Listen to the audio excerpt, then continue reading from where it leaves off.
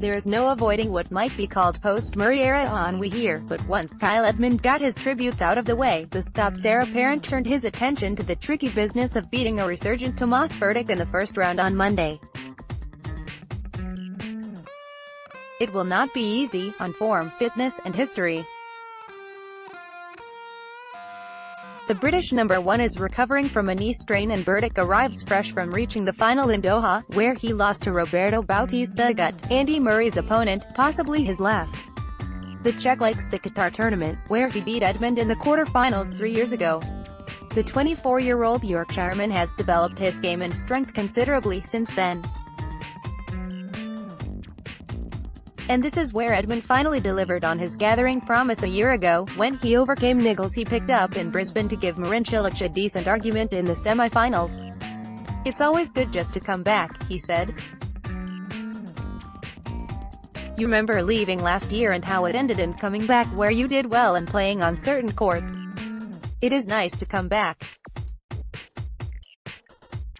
It certainly goes quickly. In the 12 months since, Edmund has climbed from 50 in the world to 14, with a few difficult moments along the way, his season finishing when his knee gave up on him at the Paris Masters in October. The trouble flared in Brisbane two weeks ago, forcing him to withdraw from the Sydney International last week. It's a lot better than what it was, he said. I've been practicing pretty much like my normal schedule. I'm happy the way it's going and it's getting better. Things don't happen overnight, they take time to progress. You have to manage it very well. If it continues to improve then that's a good sign. I'll be fine to play.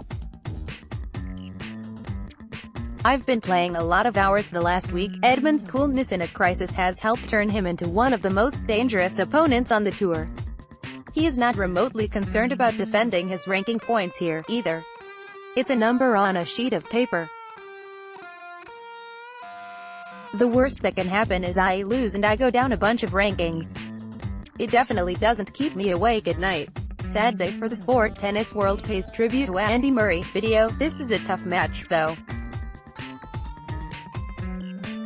It's a bit weird because he's been out injured and you don't know how they are coming back. But he did well in Doha so you get a feeling that he is playing well. The way I've been going with my fitness and continuing to get that better, I'm pleased about. This year's so long, there's so many more opportunities after this tournament to do well.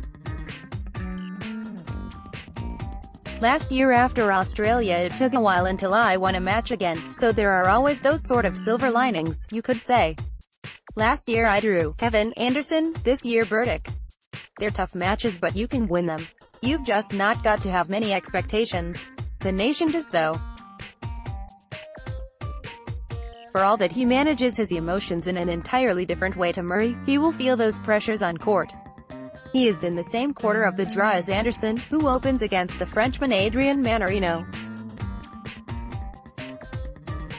There are some quality obstacles in Edmund's section, including the world number 2, Rafa Nadal, whose first opponent is James Duckworth, who history might yet record as the last player to lose to Murray. Nadal, who has known Murray since they met as teenagers in Barcelona, on Saturday joined the chorus of commiseration for his friend's impending retirement. The Spaniard, the 2009 champion, had foot surgery last year, but declared, I feel good, otherwise I would not be here. He said of Murray, it is very bad news. When you are going on court every day without a clear goal because you cannot move well, you have pain, then is the moment to take a decision. Probably he is fighting to keep going for a long time. If he doesn't feel that it can go better, probably he does the right thing for his mental health. He will be a big loss for tennis, for the tour, for the fans, even for his rivals. He has been part of a great rivalry between the best players for a long time, and a great competitor. But that's life. I know that tennis is not forever. I But to do it as long as I can.